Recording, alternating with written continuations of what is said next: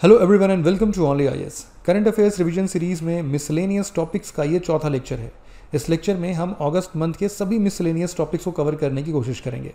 अगर आप यूपीएससी या किसी भी स्टेट पीसीएस एग्ज़ाम के लिए थोड़ा भी सीरियस हैं तो आप हमारे Telegram channel only I nothing else को ज़रूर से ज्वाइन कीजिए। तो बिना देरी किए हुए चलिए शुरुआत करते हैं इस लेक्चर की। इस सेशन का first important article aridity anomaly outlook index के बारे में है। दैट्स आउ इंडेक्स इंडियन मेट्रोलॉजिकल डिपार्टमेंट ने अभी हाल ही में इस इंडेक्स को रिलीज़ किया है जुलाई 2022 के लिए। ये कहता है कि इंडिया में 85 परसेंट जो डिस्ट्रिक्ट हैं, वो एरिड कंडीशन फेस कर रहे हैं मतलब कि सूखे की स्थिति, पानी की कमी। इस इंडेक्स को तैयार करता है IMD India meteorological department purpose ये है कि हम ये देखें कि एग्रीकल्चरल ड्रॉट की कंडीशन क्या है। कहीं पर अगर कोई ऐसा सूखा है जिसका प्रभाव एग्रीकल्चर पे नहीं है तो ये उसे संज्ञान में स्पेसिफिकली नहीं लेते। इनका स्पेसिफिक टारगेट ये रहता है कि अगर किसी फ़सल को उगाना है तो उसकी मेचोरिटी तक जाते वक्त जितने पानी की आवश्यकता होती है, क्या वो पानी अवेलेबल है फ़सलों के लिए? अगर नहीं है तो ड्रॉट की सिचुएशन आ सकती है। उसे इवेल्युएट किया जाएगा by this index by this आओ इंडेक्स अनॉमली का मतलब यह है कि नॉर्मल वैल्यू जो है, वो वाटर शॉर्टेज को सिग्निफाई करती है। इसको इस तरीके से तैयार किया गया इंडेक्स को कि अगर इसमें निगेटिव वैल्यू आती है, इसका मतलब यह है कि मॉइस्चर सरप्लस में है। और अगर पॉजिटिव वैल्यू आती है तो मॉइस्चर की कमी है स्ट्रेस है, सूखे की स्थिति बन सकती है। इंडेक्स को वीकली या हर दो हफ़्ते के पीरियड में कंप्यूट किया जाता है और देखा जाता है नॉर्मल एरिडिटी के पीरियड से कि कितना जो एरिडिटी का सिचुएशन है वो ज़्यादा या फिर कम है। यहाँ पे जो पैरामीटर्स इस्तेमाल किए जाते हैं वो हैं दो। पहला है एक्चुअल इवेपो ट्रांसपिरेशन और दूसरा है calculated potential evapotranspiration evapotranspiration क्या होता है? जब इवेपोरेशन और ट्रांसपिरेशन को ऐड कर दिया जाए।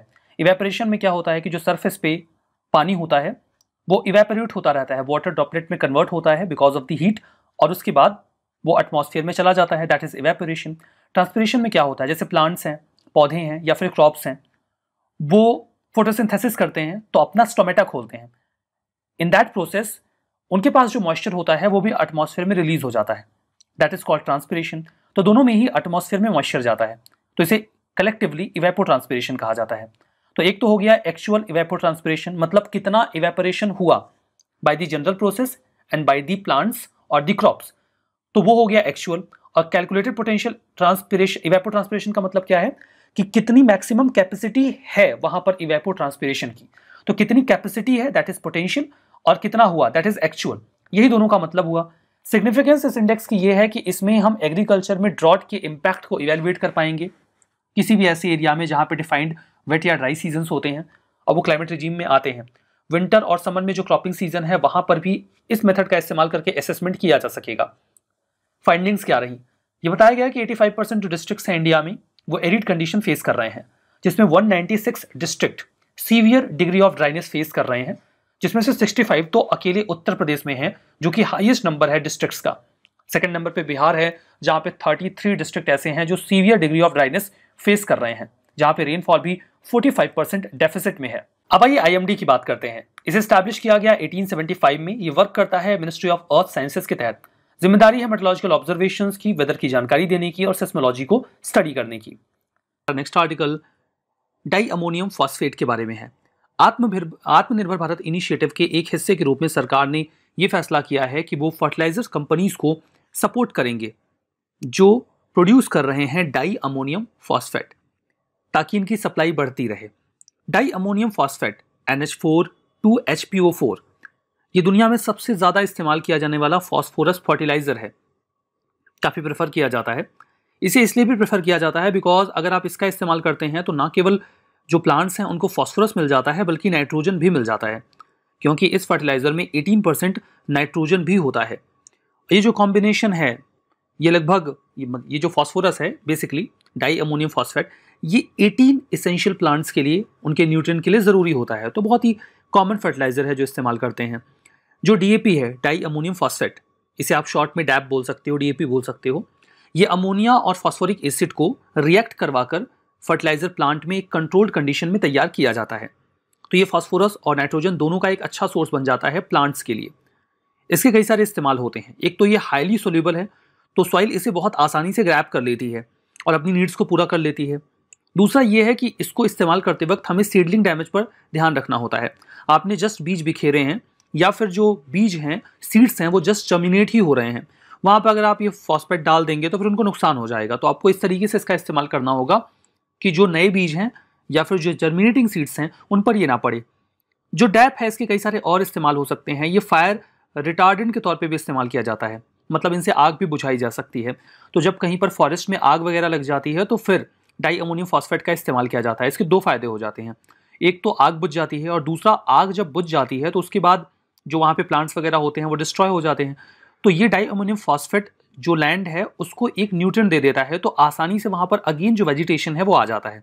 जो डैप है इंडस्ट्रियल प्रोसेस में भी इसका इस्तेमाल करते हैं मेटल की फिनिशिंग में। तो काफ़ी मल्टीपल यूज़ किए जाते हैं डाई अमोनियम फॉस्फेट के। हम आगे बढ़ते और बात करते हैं खयाम सेटेलाइट्स की। खयाम सेटेलाइट नाम थोड़ा आपको उर्दू जैसा मिल रहा होगा ये। तो ये असल में आपको लग सकता है क्या इसरो ने लॉन्च करी है क्या? नहीं। ये लॉन्च करी है रशिया ने। और ये सेटेलाइट है असल में किस देश की? तो ईरान की। खयाम असल में वहाँ के एक फ़ेमस मैथमेटिशियन थे फिलोसोफर भी थे। और कई एरिया में इन्होंने का, काम किया। जो इन्होंने एस्ट्रोनॉमी के ऊपर काम किया है इन्होंने मैथमेटिक्स के ऊपर काम किया है। ये कहाँ के थे? ईरान के थे। और इनके नाम की रिमोट सेंसिंग सेटेलाइट खयाम तो खयाम क्या है? Is a remote sensing satellite which is being launch by Soyuz Soyuz एक सेटेलाइट कैरियर है जो कि किसका है? रशिया का। तो रिमोट सेंसिंग सेटेलाइट का क्या फ़ायदा होगा? उन्हें डेटा मिलेगा हेल्प मिलेगी अपने एरियाज़ को ठीक से कीटर करने के लिए। इसमें हाई इमेजिंग एक्यूरेसी है और अर्थ की सरफेस को ये मदद करेगा, उनको बॉर्डर्स को भी मॉनिटर करने में एग्रीकल्चर प्रोडक्टिविटी बढ़ाने में वाटर रिसोर्स नेचुरल डिजास्टर्स को कंट्रोल करने में और इसको गाइड करेगा। जो ग्राउंड स्टेशन है वो ईरान में होगा। यानी रशिया ने इसको लॉन्च कर दिया, बाकी ईरान उसको फिर मैनेज करेगा। जो इंडिया पहले क्या करता था रशिया के साथ, अभी ईरान ने ऐसा किया। तो खयाम, किसकी सेटेलाइट है, किसने लॉन्च किया? अगर आपको इसरो वहाँ दे दे तो आप कंफ्यूज नहीं होना। ईरान की सेटेलाइट को इंडिया ने लॉन्च नहीं किया, इसरो ने लॉन्च नहीं किया, जो क्योंकि रशिया ने लॉन्च किया था। फिर अभी रिसेंटली एक वर्ल्ड डेयरी समिट हुई है, जो इंडिया ने होस्ट किया। है इंडिया इंपॉर्टेंट इसलिए इंडिया क्योंकि लार्जेस्ट जो डेयरी उत्पादन करता है, उनमें भारत है नंबर वन पे। और ये जो अभी हुआ वर्ल्ड डेयरी समिट ये न्यू दिल्ली में होने वाला, इसलिए इंपॉर्टेंट है, वैसे तो होता रहता होगा ऐसा कुछ। तो ये 48 एट ईयर्स के बाद इंडिया में हो रहा है, कौन करवा रहा है? तो इंटरनेशनल डेयरी फेडरेशन और क्या करेगा ये? ये जो इंडस्ट्री के लीडर्स हैं, जो स्टेक होल्डर्स हैं उनके बीच में नॉलेज शेयरिंग की बात हो, या फिर कैसे और ज़रा सेफ़ और सस्टेनेबल डेयरिंग प्रैक्टिस को बढ़ावा दिया जाए। लाइवलीहुड और न्यूट्रिशन इस बार इसका थीम है। India is rank one in milk production 23 percent of global milk production India में ही होता है। Uttar Pradesh is the highest milk producing state in India उसके बाद राजस्थान, आंध्रा, गुजरात और पंजाब आते हैं। ये हो गई इसकी बात।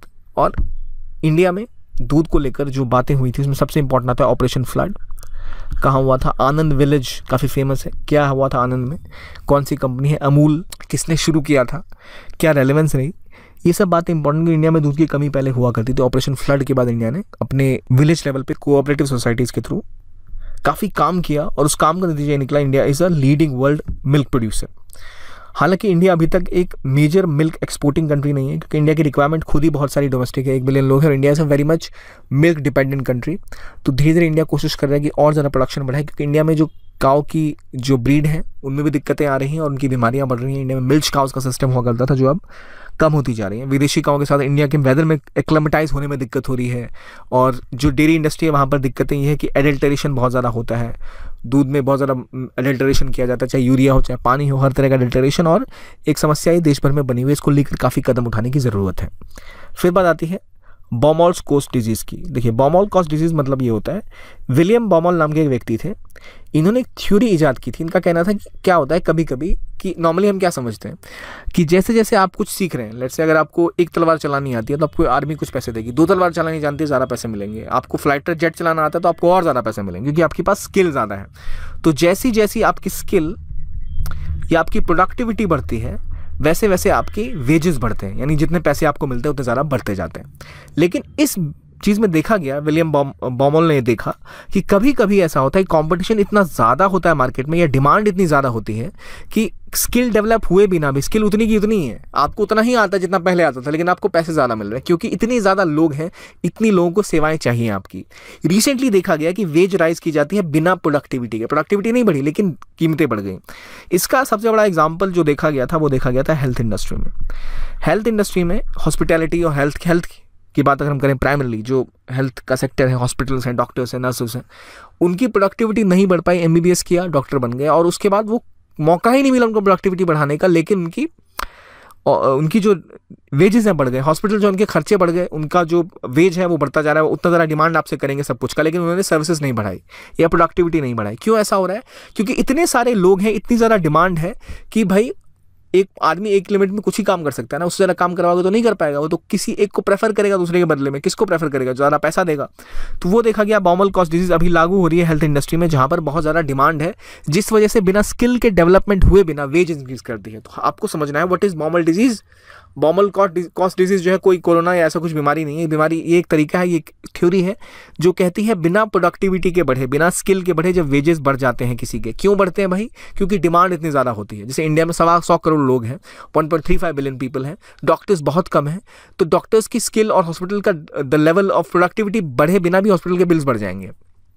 उसके लिए जो अब इलाज कहा जा रहा है कि इसका सॉल्यूशन क्या है कि आप एआई या फिर टेक्नोलॉजी का इस्तेमाल करो ताकि बेहतर तरीके से आप इसको सॉल्व कर पाओ। तो लगातार कॉम्पिटिशन इंडस्ट्री में होगा तो ऑब्वियसली किसी की भी वेजेस बढ़ जाएँगे। तो वहाँ पर आप जो इंक्रीज कर सकते हो टेक्नोलॉजी के थ्रू एआई के थ्रू लेट से अगर डॉक्टर्स एक समय में बहुत लोगों को देख पाए या आप टेक्नोलॉजी के थ्रू कुछ चीज़ें ऑटोमेट कर दें तो फिर रिक्वायरमेंट ही नहीं रह जाएगी उस व्यक्ति की तो उसकी डिमांड अपने आप कम हो जाएगी तो फिर वेजेस कम हो जाएँगे।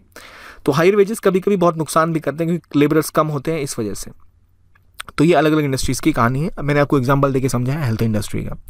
आर्टिकल बात करता है पैलेस्टाइन इसराइल कॉन्फ्लिक्ट के बारे में। इसराइल पैलेस्टाइन के बीच में लगातार कॉन्फ्लिक्ट बना हुआ था, जिसमें कि कई हिंसा हुई, जहाँ कहा जा रहा था कि इसराइल के अटैक की वजह से कई लोगों की जाने जा रही हैं। इसराइल का कहना था कि वो उन्होंने जो मिलिट्री ऑपरेशन था, इसलिए शुरू किया था, क्योंकि एक मिलिटेंट ग्रुप जिसका नाम था पैलेस्टीनियन इस्लामिक जिहाद ये लगातार इसराइल के ऊपर खतरा बना हुआ था जिनसे उनकी जान, उनके लोगों की जान को खतरा था, इसके बदले में इस जवाबी कार्रवाई को उन्हें करना पड़ा। हमें ये जानना पड़ेगा कि क्या कहानी है असल में इस रीजन की। आपने बहुत बार ये न्यूज़ में भी पढ़ा होगा। देखिए, इसराइल है, यहाँ पर इधर गाज़ा स्ट्रिप है, जहाँ पर हमास मुख्य रूप से कब्जा है, और इधर है वेस्ट बैंक, जहाँ पर रमाला, जो उनकी राजधानी है, जहाँ पर मुस्लिम पैलेस्टाइन का जो एक डेमोक्रेटिक थोड़ा सेटअप है, वो यहाँ पर है। लेकिन ये इनडायरेक्टली अभी भी इसराइल के कंट्रोल में है। ये बातें क्लियर हो गई। एक राज्य, एक शहर है यहाँ पर, उस शहर का नाम है जेरूसलम जो बहुत ही महत्वपूर्ण है for Muslims Christians as well as for Jews तो ज्यूश पॉपुलेशन के लिए भी इंपॉर्टेंट है और मुस्लिम क्रिश्चियन पॉपुलेशन के लिए भी इंपॉर्टेंट है जेरूसलम जो प्रोमिनेंट बात है, जो पहले बातें की गई थी, उसके तहत ये था कि पैलेस्टाइन जो स्टेट बनेगा, उसके अंदर यूनाइटेड जेरूसलम जो है वो उनका कैपिटल होगा।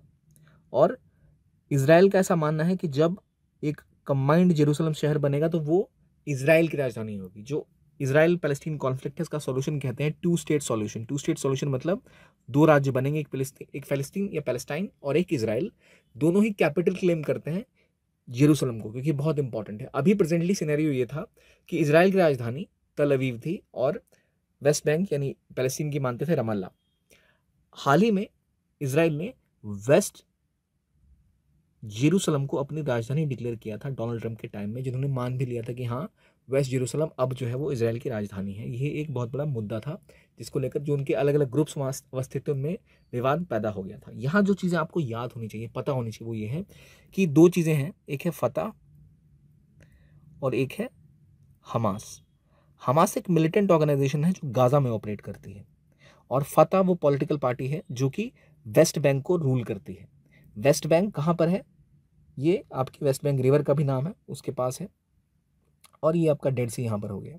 तो हमास इधर गाजा स्ट्रिप पर है और एक ज़्यादा टेररिस्ट या मिलिटेंट ऑर्गेनाइजेशन की तरह इसको देखा जाता है। काफ़ी अटैक चलते रहते हैं इसराइल के साथ और वो अलग कॉर्नर पे वेस्टर्न साइड में ईस्टर्न साइड में क्या है वेस्ट बैंक और ऊपर जो आप देख रहे हैं इसराइल के वो है गोलन हाइट्स जो सीरिया के पास है, नीचे है आपका इसराइल यहाँ गाजा और यहाँ पर ये इलाका। तो तीन पार्टी हैं, हमास, फतह और इसराइल पता लग गया आपको? विवाद अभी जिस ग्रुप को लेकर हुआ था, वो था पैलेस्टीनियन इस्लामिक जिहाद, जिससे थ्रेट आ रहा था इसराइल को। तो इसके बाद यूएन में एक सिक्योरिटी मीटिंग की बात की गई और वो होने वाली है। लेकिन मेन मुद्दा क्या है? वो है जेरूसलम को लेकर। तो ईस्ट और वेस्ट दो जेरूसलम का पार्ट है, अगर आप देखें तो पहले इनिशियली क्या हुआ था? ये हिस्सा जो वेस्टर्न जेरूसलम था, वो इसराइल के पास था। लेकिन जो ईस्टर्न जेरूसलम था वो इसराइल के पास नहीं था, वो पहले ऑक्यूपाई कर रखा था किसने? तो जॉर्डन ने। और बाद में सिक्स डे की वॉर हुई। पहले एक अरब इसराइल वॉर हुई 1948 में। उसके बाद 1967 में एक सिक्स डे वॉर हुई थी। 1967 के सिक्स डे वॉर में इसराइल ने ये जो बाकी का हिस्सा था जेरूसलम का, वो भी कब्जा कर लिया था। और वो ऑलमोस्ट उनके ऑक्यूपेशन के अंदर ही है, जहाँ पर मेजर इंपॉर्टेंट साइट्स हैं। तो दोनों ही देश कब ऐसा दावा रखते हैं कि ये इलाका हमारा होगा हमारा होगा। लेकिन इसीलिए ये मुद्दा काफ़ी समय से फंसा हुआ है। इसके अलावा गोलन हाइट्स का इलाका भी इन्होंने कैप्चर कर लिया था। नीचे सनाई पेनसुला था इजिप्ट के पास। सनाई पेनसुला भी कब्जा कर लिया था इसराइल ने सिक्सटी फोर के टाइम में। तो नीचे, ऊपर और बाकी के इलाके सब पे कब्जा कर लिया था इसराइल ने, जो बाद में इजिप्ट के साथ इन्होंने अपने संबंध जब नॉर्मलाइज किए तो कम से कम ये हो गया कि जो सनाई पेनसुला है, वो इन्होंने एक तरह से उसके ऊपर अपना कमांड छोड़ दिया था, लेकिन गोल्डन हाइट्स को लेकर अभी तक विवाद बना हुआ है। तो यहाँ जो इंपॉर्टेंट वाटर बॉडीज हैं, जैसे डेड सी कहाँ पर है सी एफ़ गैली कहाँ पर है आपके मेडिटेरियन सी के आसपास किसका बॉर्डर लगता है? वेस्ट बैंक का लगता है या गाजा का लगता है? ये आपको पता होना चाहिए, ठीक है? ये हो गई इस कॉन्फ्लिक्ट की कहानी। डिटेल में आप इसके बारे में वीडियो हमारे चैनल पर भी देख सकते हैं। एक बड़ा मुद्दा है ये, जिसके ऊपर डिटेल वीडियोज़ भी उपलब्ध है। एडिटोरियल में भी आप डिस्कस इसके बाद डिस्कशन पढ़ ही रहे हैं इसके बारे में। तो आगे बढ़ते हैं और अगला आर्टिकल बात करता है यूएन फ़ूड प्राइस इंडेक्स के बारे में। यूएन फ़ूड प्राइस इंडेक्स में ये देखा गया है कि जो ग्लोबल फ़ूड प्राइसेस हैं, वो पिछले साल बहुत हाई पे थी, लेकिन अब उनमें थोड़ा सा दबाव देखा गया, यानी वो थोड़ा सा नीचे की तरफ़ आई हैं। तो ये तो जो पिछले महीने के हिसाब से उसके मुकाबले में एक गिरावट देखी गई है। तो पहली बात तो आपको ये पता होना चाहिए कि जो फ़ूड प्राइस इंडेक्स है, वो कौन सी बॉडी लाती है? तो यूएन की एफ़ ए ओ जो ऑर्गेनाइजेशन है, वो ये इंडेक्स लाती है। 1996 से शुरू हुआ था, जिसमें ग्लोबल फ़ूड प्राइसेस को देखा जा रहा था। रिसेंटली ग्लोबल फ़ूड प्राइसेस के दाम बहुत ऊपर गए थे आसमान की तरफ़। ऐसा क्यों हुआ था? क्योंकि यूक्रेन रशिया विवाद के बाद यूक्रेन और रशिया दोनों ही मेजर सप्लायर थे किस चीज़ के? कमोडिटीज़ के स्पेसिफिकली वीट गेहूँ का प्रमुख सप्लायर में से एक था यूरोप में, यूक्रेन। यूक्रेन का वीट सप्लाई रुक गया था, रशिया का सप्लाई रुक गया था। और मेजर जो सप्लाई चेन था वहाँ का वो भी डिस्टर्ब हो गया था यूरोप का। जिस वजह से, क्योंकि सप्लाई पूरी नहीं हो पा रही थी तो डिमांड अपने आप बढ़ गई और इस वजह से जो फ़ूड प्राइसेस थी बहुत ज़्यादा बढ़ गई थी। तो जो कमोडिटीज़ थी उनमें जो भी मेजर चीज़ें रशिया या जो यूक्रेन जैसी कंट्रीज़ हैं, जो मेजर फ़ूड प्रोड्यूसिंग कंट्रीज़ हैं, इनके विवाद की वजह से जो कमोडिटीज़ हैं, उनके दाम बहुत ज़्यादा बढ़ गए थे। अब धीरे धीरे वो स्टेबलाइज हो रहा है सप्लाई चेन दोबारा एक्टिवेट हो गया है तो खाने के दाम जो अचानक बहुत तेज़ी से भागे थे, अब थोड़े से कम हो रहे हैं। इसके अलावा विवाद हमने देखा लगातार, चीन को लेकर विवाद बना हुआ है, अभी ताइवान का विवाद बना हुआ है। इस वजह से एक डर की स्थिति है, इस वजह से मार्च के आसपास हमने देखा था कि जो फ़ूड प्राइस इंडेक्स था, ये ऑल टाइम हाई पे था 159.7 और इसके बाद हमने देखा एक ड्रॉप आया। तो लगातार जंग काफ़ी समय तक चली। इस वजह से हमने देखा कि ये मुद्दा बड़ा हुआ था, लेकिन अब जो है वो थोड़ा डिक्लाइन देखा गया। वो क्यों डिक्लाइन देखा गया? चीज़ें थोड़ी स्टेबलाइज हुई हैं इसकी वजह से। जो हमारे लिए काम की बात ये है कि क्यों ये हाई प्राइसेस हमें देखने को मिले। एक तो ऑयल के प्राइसेस बढ़ गए थे।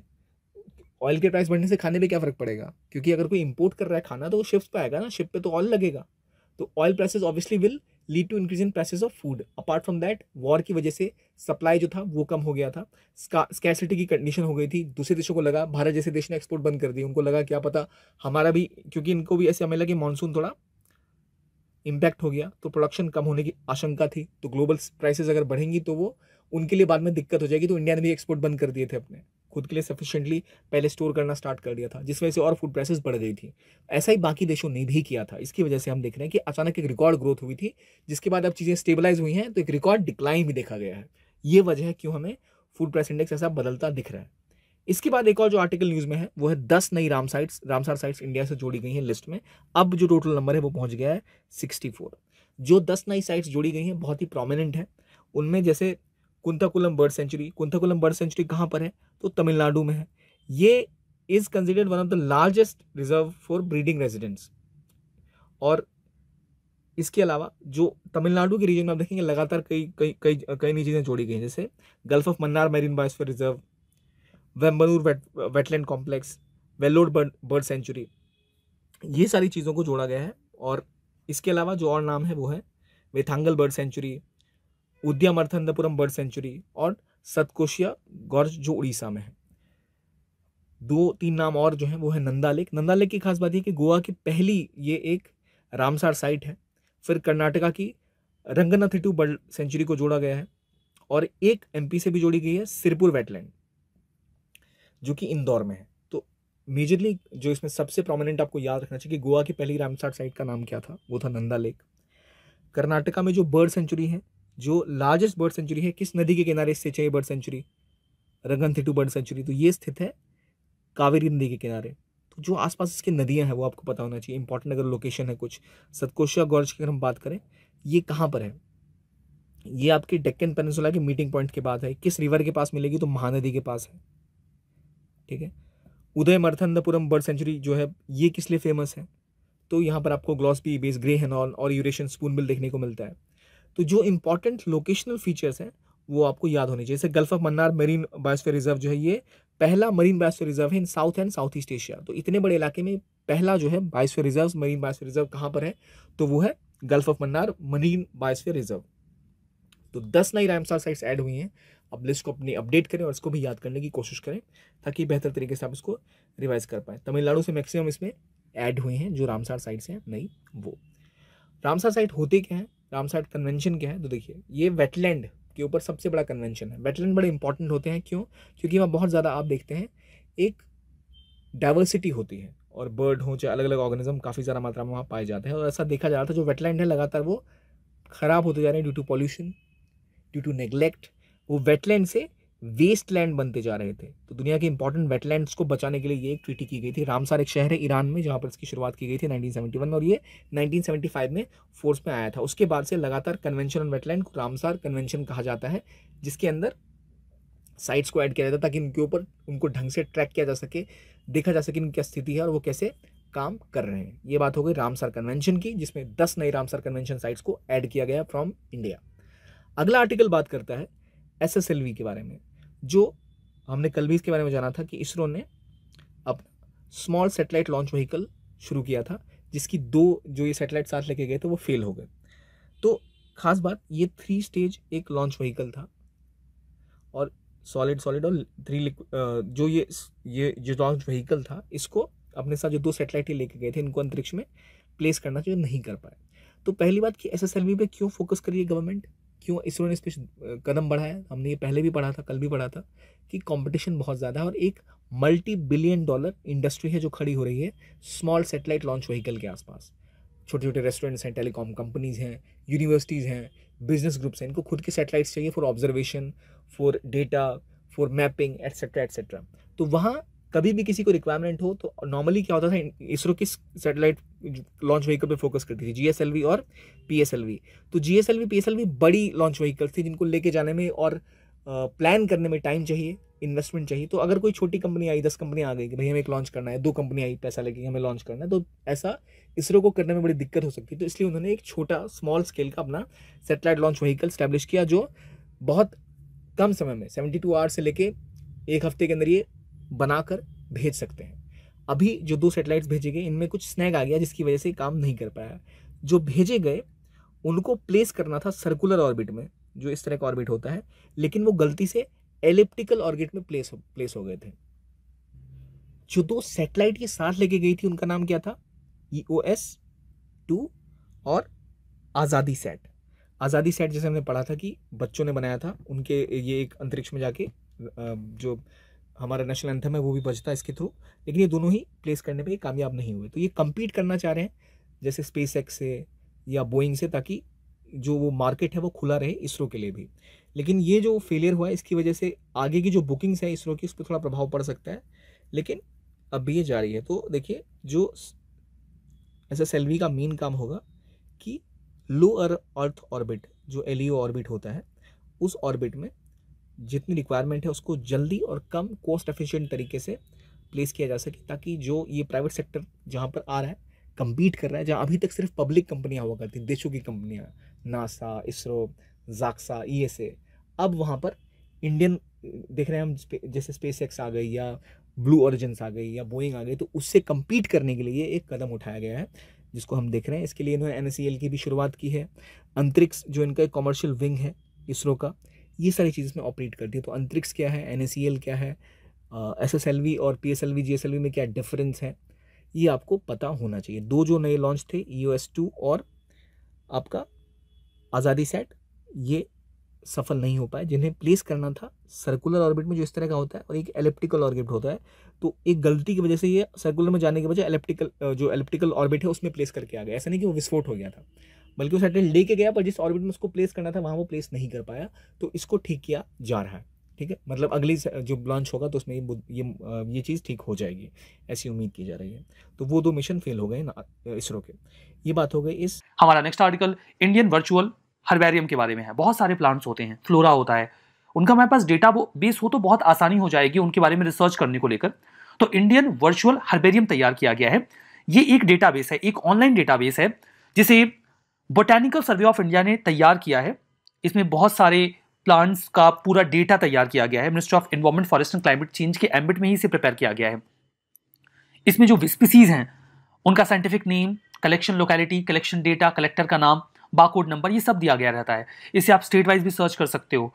तो इससे जो रिसर्चर्स हैं, उनकी बहुत मदद मिल जाएगी और वो आसानी से कुछ एक्सप्लोर करना चाहते हैं तो कर पाएँगे। हमारा next article great barrier reef के बारे में है। Australian institute of marine sciences की एक रिपोर्ट के अकॉर्डिंग, पिछले 36 इयर्स में हाईएस्ट लेवल में जो कोरल रिकवरी हुई है कोरल कवर जो है, वो हाईएस्ट लेवल पे रहा है। उसे रिकॉर्ड किया गया है नदन और सेंट्रल पार्ट ऑफ़ ऑस्ट्रेलिया के ग्रेट बैरियर रीफ में। देखिए, ये ऑस्ट्रेलिया है और ऑस्ट्रेलिया के ईस्टर्न कोस्ट पे एकदम एक रीफ का स्ट्रक्चर आपको मिलेगा, जो कि बहुत ही लंबा है और उनके कोस्टल रीजन से फैलता हुआ जाता है that is great barrier reef ये दुनिया का सबसे लार्जेस्ट और लॉन्गेस्ट कोरल रीफ माना जाता है, जो ऑस्ट्रेलिया में लोकेटेड है। 1981 में इसे, ये दुनिया का पहला रीफ इकोसिस्टम था जिसे यूनेस्को ने रिकॉग्नाइज किया। यहाँ पे 400 टाइप्स के कोरल 1500 स्पीसीज फिशेस की और 400 जो मॉलस्क हैं, यानी कि जो सीप वगैरह होती हैं, वो आपको यहाँ पे मिल जाएँगे, ठीक है? कोरल रीफ क्या होता है? ये इन्वर्टिब्रेट्स होते हैं। ये प्रकार के बहुत ही छोटे मरीन जीव होते हैं, जो अकशेरुकी होते हैं, जिनमें रीढ़ की हड्डी नहीं पाई जाती। इनमें स्पाइन नहीं होता। ये लार्जेस्ट लिविंग स्ट्रक्चर तैयार करते हैं प्लेनेट पे कोरल रीफ के फॉर्म में, जहाँ पे कोरल्स होते हैं, ठीक है? कोरल रीफ एक अंडर वाटर इकोसिस्टम है, जो रीफ बिल्डिंग कोरल्स के वजह से तैयार होता है। होता क्या है कि उनके पास एक स्केल्टन होता है, एक स्ट्रक्चर होता है, जो कैल्शियम कार्बोनेट का बना होता है। उसके भीतर ही कोरल्स रहते हैं। जब कोरल मर जाता है तो ये जो कैल्शियम कार्बोनेट का स्ट्रक्चर है, ये ढह जाता है और वहाँ पर वो एक लेयर तैयार कर लेगा। उसके ऊपर और कोरल्स जो हैं वो मरेंगे तो कैल्शियम कार्बोनेट वो इकट्ठा होता चला जाएगा। तो ऐसे एक स्ट्रक्चर कैल्शियम कार्बोनेट का तैयार हो जाता है, ठीक है? तो ये कोरल रीफ बन जाता है। अब जो कोरल्स की कॉलोनीज हैं वो इकट्ठा रहती हैं तो ये रीफ बहुत टाइम टू टाइम डेवलप होता रह रहा है, उनके जो स्केल्टन्स हैं, उनकी मदद से। कोरल ब्लीचिंग एक मैकेनिज्म है। इसमें क्या होता है? जो कोरल्स होते हैं, वो इन्वर्टिबेट्स हैं काइंड ऑफ़ एनिमल्स हैं माइक्रो एनिमल्स हैं, वो अपना खाना खुद नहीं बना पाते। तो वो जगह देते हैं एलगी को। एल्गी उनके ऊपर आता है और वो सनलाइट में खाना बनाता है और उसी खाने को इस्तेमाल करते हैं ये कोरल्स तो उनके बीच में एक सिम्बायोटिक रिलेशनशिप होती है। एलगी उनको रहने के लिए बेच देता है।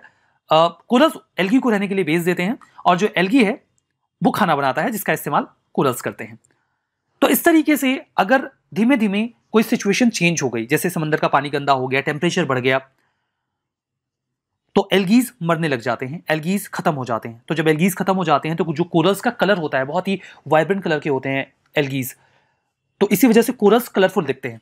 जब एल्गीज हट जाते हैं तो उनका जो कलर है, वो व्हाइट हो जाता है। तो इसे कोरल ब्लीचिंग कहा जाता है। काफ़ी लंबे समय से मास ब्लीचिंग रिकॉर्ड की जा रही है।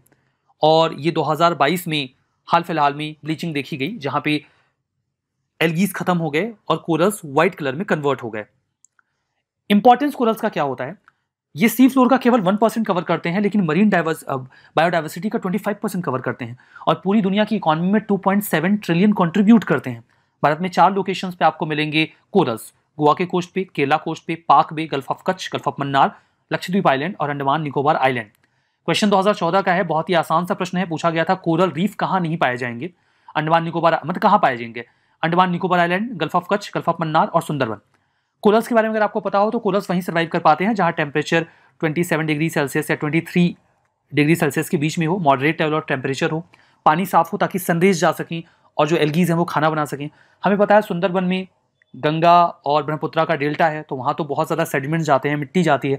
तो कोरल्स वहाँ पे कहाँ होंगे? सुंदरबन के एरिया में कोरल्स नहीं होते, बल्कि स्पेसिफिक टाइप ऑफ़ इकोसिस्टम होता है, जिसे कहा जाता है मैंग्रोव ठीक है? तो सुंदरबन नहीं रहेगा, एक दो तीन आंसर हो जाएगा। हमारा नेक्स्ट आर्टिकल ऑपरेशन यात्री सुरक्षा के बारे में है। रेलवे प्रोटेक्शन फोर्स ने अभी हाल ही में पैन इंडिया लेवल पे एक ऑपरेशन चलाया है दैट इज़ ऑपरेशन यात्री सुरक्षा। नाम से समझ में आ रहा है क्या होगा? पैसेंजर्स को सिक्योर करने के लिए चलाया गया होगा? किसने चलाया? ये इंपॉर्टेंट है। आरपीएफ का इनिशिएटिव है ये। पैसेंजर्स की सिक्योरिटी को इंश्योर किया जाएगा। इसमें कई सारी चीज़ें की जाएँगी, जैसे जगह जगह पे सीसीटीवी सर्विलांस किया जाए एस्कॉटिंग की जाए ट्रेन की सर्विलांस एक्टिविटी को बढ़ाया जाए, और जो पुलिस प्रेजेंस है, उसे इंक्रीज किया जाए स्टेशन पे, ताकि सिक्योरिटी बनी रहे। ऐसा नहीं कि ये एकमात्र इनिशिएटिव है जो आरपीएफ ने लॉन्च किया है। इसके पहले आरपीएफ ने और भी बहुत सारे इनिशिएटिव्स लॉन्च कर रखे हैं, जैसे मिशन जीवन रक्षा।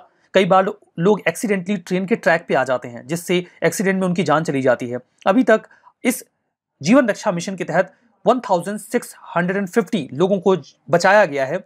जब वो गलती से ट्रेन के ट्रैक पे चले गए तो आरपीएफ के जवानों ने उन्हें अपनी जान पर खेलकर बचा लिया। मेरी सहेली इनिशिएटिव कई बार जो वुमेन होती हैं लेडीज़ होती हैं गर्ल्स होती हैं, वो अकेले ट्रेवल करती हैं एक जगह से दूसरी जगह और वो अनसेफ फील करती हैं ड्यूरिंग दिस जर्नी तो इसके लिए मेरी सहेली इनिशिएटिव लाया गया। इसमें जो वुमेन आरपीएफ ऑफिशियल्स हैं, उनको डिप्लॉय कर दिया जाता है ट्रेन में। वो जाके उनसे बात करती हैं, उनको बताती हैं कि कोई दिक्कत की बात नहीं है, हम यहीं पे हैं। आपको कोई भी नीड हो, आप कॉल करो, हम ट्रेन में ही, हम आपके पास मदद के लिए आ जाएँगे ताकि वो कॉन्फिडेंट फील करें और सेफ़ फील करें ट्रेवल के दौरान। इसमें वो महिलाएँ जो अकेले ट्रेवल कर रही हैं या वो जो वलनरेबल है क्राइम को लेकर उन्हें फोकस की में रखा जाता है। ऑपरेशन अमानत। कई बार लोग ट्रेन में ट्रेवल करने के दौरान अपना सामान भूल जाते हैं। उसमें कई बार कीमती चीज़ें होती हैं। उन्हें ऐसा लगता है कि उन्होंने उन चीज़ों को खो दिया है। लेकिन ऐसा नहीं होता। ऑपरेशन अमानत के तहत आरपीएफ उन्हें सिक्योर करके रखता है। और अभी तक उन्होंने 12,377 पैसेंजर्स के 23 करोड़ के इस प्रकार के सामानों को वेरिफिकेशन के बाद उन्हें लौटाया है। तो आरपीएफ लगातार इस दिशा में काम कर रही है। एक टोल फ्री नंबर भी है वन जो ट्वेंटी फोर इंटू अवेलेबल होता है। जर्नी के दौरान किसी को कोई प्रॉब्लम है तो कॉल कर सकता है। Operation number plate. कई बार रेलवे प्रमाइस में कुछ लोग अपनी जो व्हीकल है वो पार्क कर देते हैं, मिसमैनेजमेंट होता है। उसके लिए ऑपरेशन नंबर प्लेट लाया गया और ऑपरेशन थर्स्ट। इलीगल तरीके से अनऑथराइज तरीके से पैकेज ड्रिंकिंग वाटर को रेलवे प्रमाइस में बेचा जाता था। उसे रोकने के लिए लाया गया ऑपरेशन थर्स्ट। फिर अगला इंपॉर्टेंट आर्टिकल बात करता है जेफोरिजिया न्यूक्लियर प्लांट के बारे में। तो इंपॉर्टेंट चीज़ जो ये है कि जेफोरिजिया न्यूक्लियर प्लांट कहाँ पर है? तो ये यूरोप में यूक्रेन में है। और यूक्रेन ने और रशिया ने एक दूसरे के ऊपर आरोप लगाया कि इन्होंने इस न्यूक्लियर प्लांट के ऊपर शेलिंग करी, यानी बम गिराए हैं। न्यूक्लियर पावर प्लांट पे आप बम गिराएँगे तो क्या हो सकता है? दुर्घटना आपको पता ही है। तो ये आरोप जोरों पे लग रहे हैं। तो हमें पता होना चाहिए कि ये कहाँ पर है nuclear plant? Zaporizhzhia nuclear plant is in Ukraine और ये किस नदी के किनारे है? तो वो नदी है नीपर। नीपर नदी कहाँ बहती है, ये भी आपको आइडिया लग गया। यूक्रेन में बहती होगी, तभी तो वहाँ ये उसके किनारे है। तो ये सोवियत इरा की बनी हुई सिक्स सिक्स सिक्स रिएक्टर्स है। और ये दुनिया के टॉप टेन जो बड़े न्यूक्लियर प्लांट्स हैं, उनमें से एक है तो इसके ऊपर बहुत ज़्यादा खतरा मंडरा रहा था कि अगर कुछ भी होता है, दिक्कत आती है। कहा जा रहा है, यूक्रेन ये कह रहा है कि रशिया ने इसके ऊपर बमबारी की ताकि वहाँ की इलेक्ट्रिसिटी कट हो जाए। और यूक्रेन रशिया कह रहा है कि यूक्रेन ने खुद ही से ऐसा किया है। तो इन दोनों के बीच में ये चल रहा है। इंपॉर्टेंट चीज़ ये है कि यहीं पर चर्नोबिल भी है, जो बंद हो चुका है। चर्नोबिल फ़ेमस जहाँ पर न्यूक्लियर एक्सीडेंट हुआ था। और वो यूक्रेन में ही है। तो यूक्रेन रशिया का जो युद्ध है, वो अभी तक खिंच रहा है। तो ये उससे रिलेटेड न्यूज़ थी।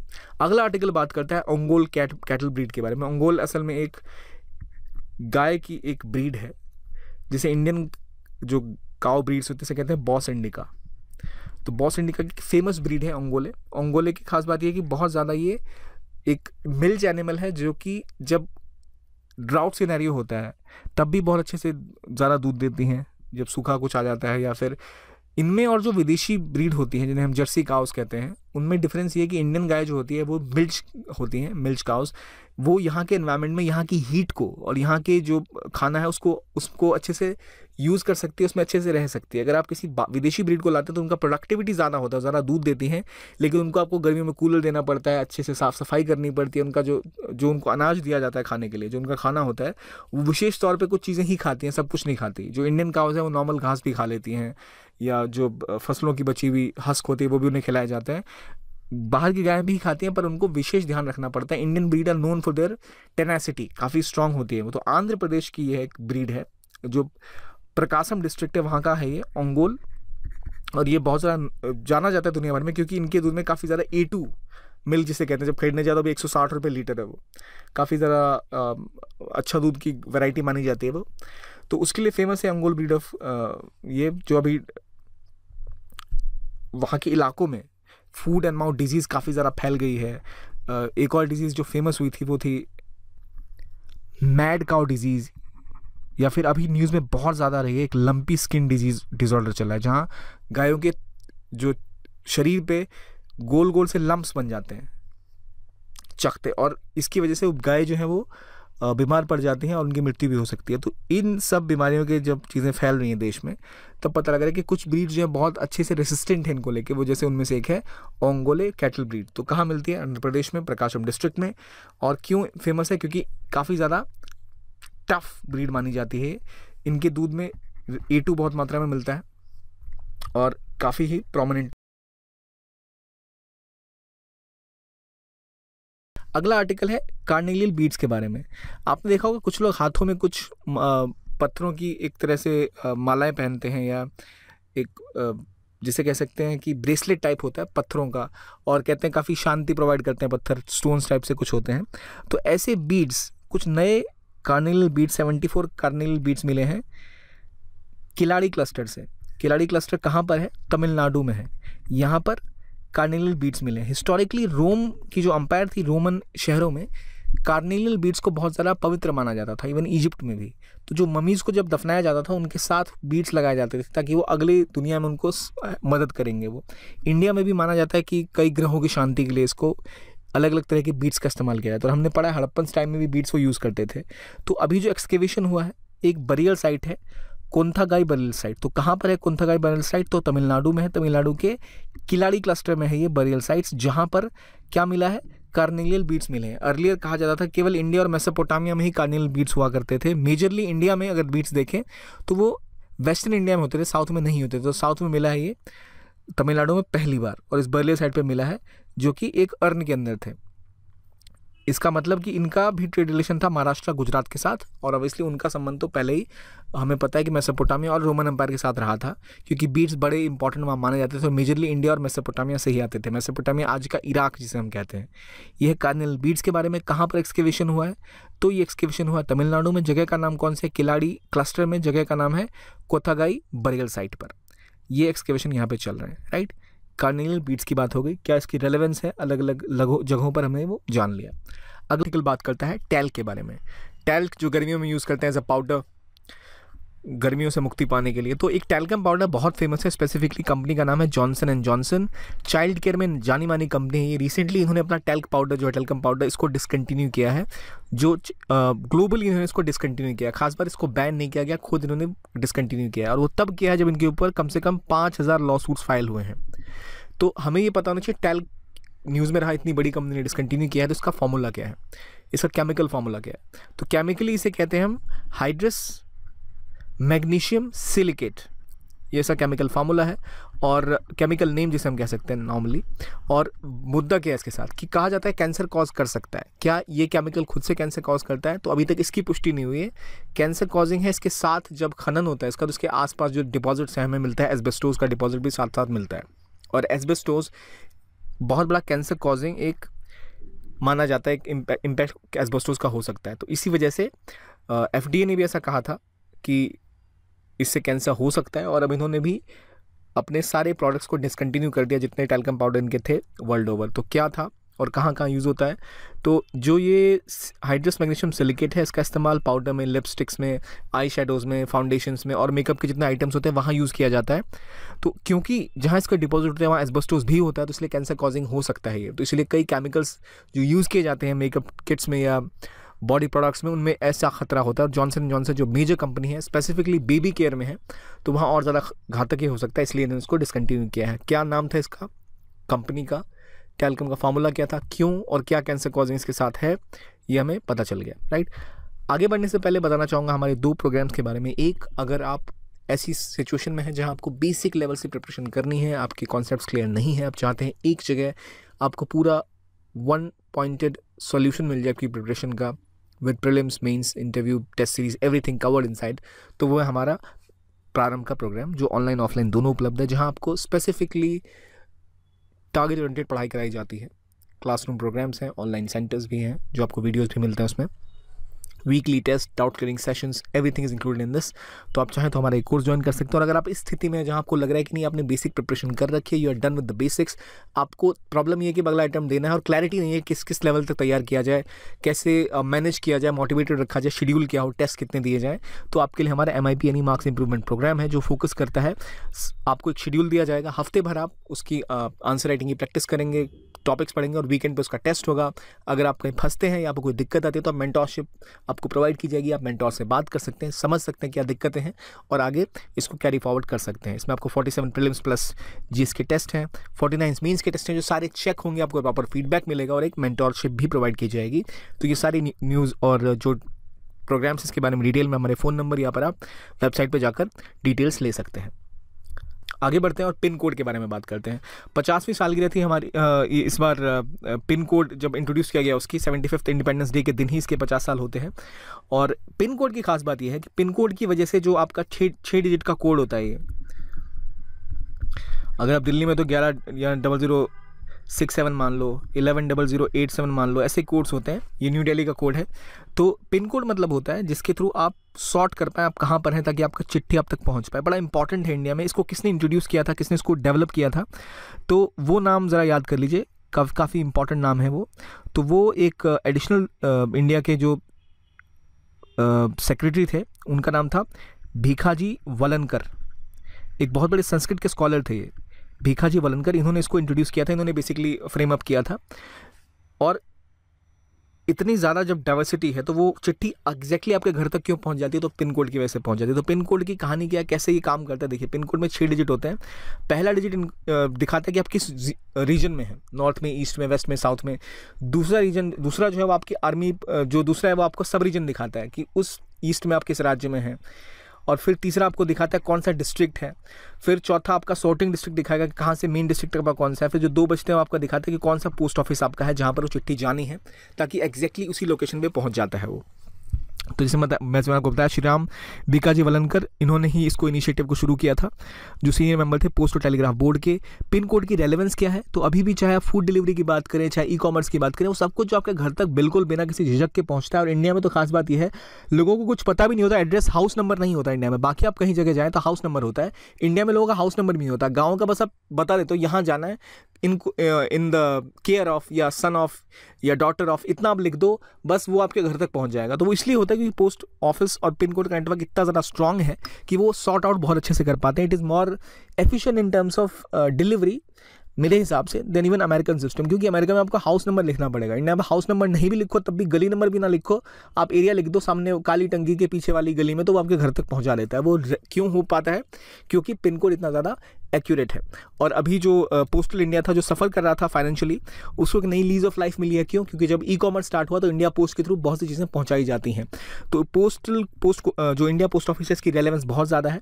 स्पेसिफिकली अब जब उसमें बैंकिंग अकाउंट अकाउंट्स भी खोले जा रहे हैं। तो जिन्होंने शुरू किया इसको, श्रीराम वेलनकर, वो एक बड़े इंपॉर्टेंट संस्कृत पोएट थे। इनकी एक लिटरेसी बुक बहुत फ़ेमस है, विलोम काव्य, जो आपको पता होनी चाहिए, विलोम काव्य। और इसको मास्टरपीस कहा जाता है जो इन्होंने श्री राम की प्रेज में लिखी थी। और एक साइड से पढ़ो तो ये आप लॉर्ड राम के बारे में है और पीछे से पढ़ो तो ये कृष्ण को डेडिकेट हो जाती है लॉर्ड कृष्ण को।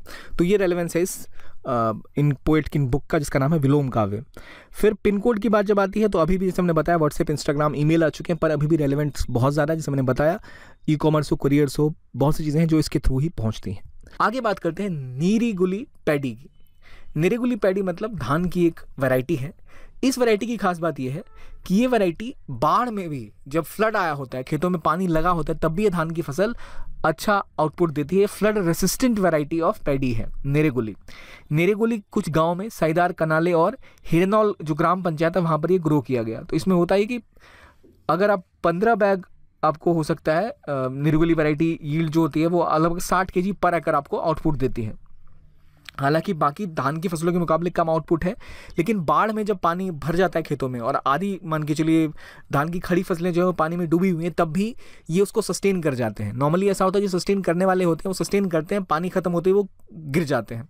इन धान की फ़सलों की खासियत यह है कि जब बाढ़ का पानी हटता है, तब ये और बढ़ जाते हैं। तो सस्टेन खुद को कर पाते हैं। तो आप कहेंगे, भाई यील्ड तो कम हो रही है तो क्या फ़ायदा इस वैरायटी का? देखिए, इसका फ़ायदा ये है कि जब बाढ़ आती है तो जो खड़ी फ़सलें होती हैं, धान की पूरी की पूरी तबाह हो जाती हैं। तो आपको कम यील्ड मिलेगी, पर आपको सिक्योरिटी तो रहेगी, बाढ़ भी आ गई तो चलो कम से कम इतना यील्ड तो पक्का रहा।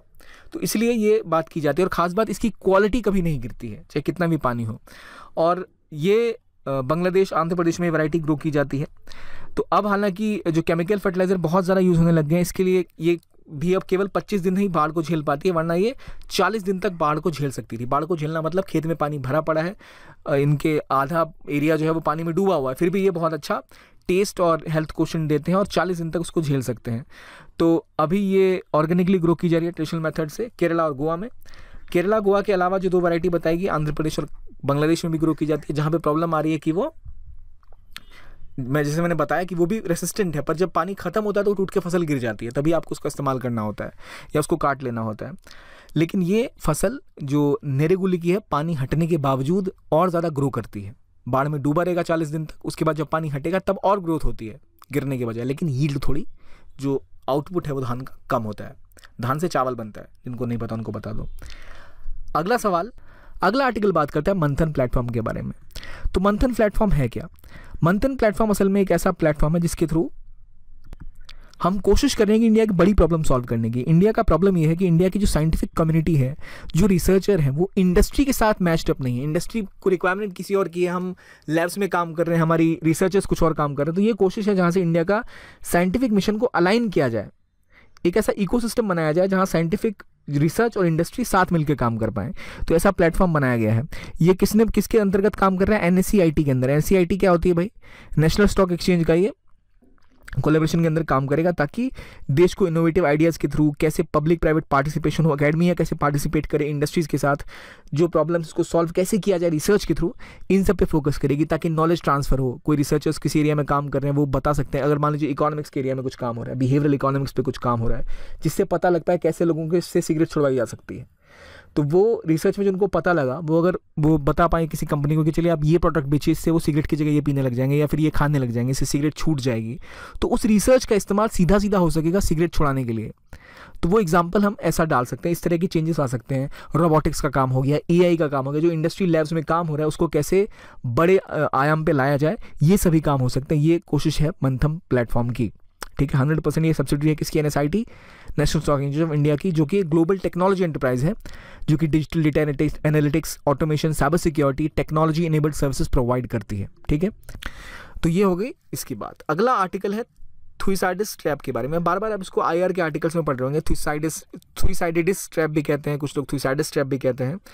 थुईसाइडिस असल में एक पुराने फिलोसोफर रहे थे, जब एथेंस और स्पार्टा का समय हुआ करता था उस टाइम में। उन्होंने कहा था कि जैसे जैसे एथेंस खड़ा होगा